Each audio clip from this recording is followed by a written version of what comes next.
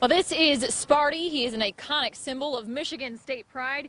He's also the target of vandals. He's clean now, but that wasn't the case this morning.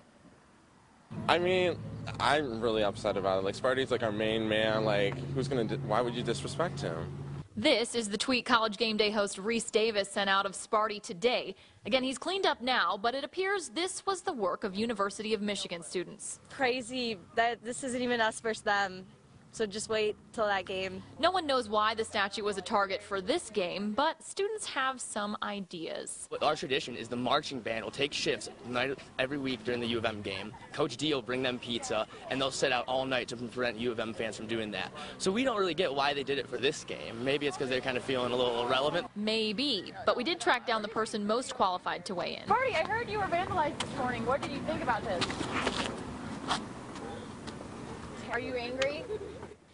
And he had a lot more to say about the suspects and retaliation, but I'm not sure just what it was. Does anyone know how to translate this?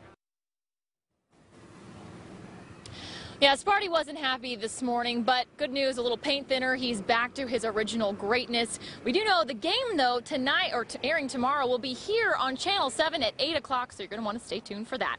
Live in East Lansing, Brianne Pomerini for the Now Detroit.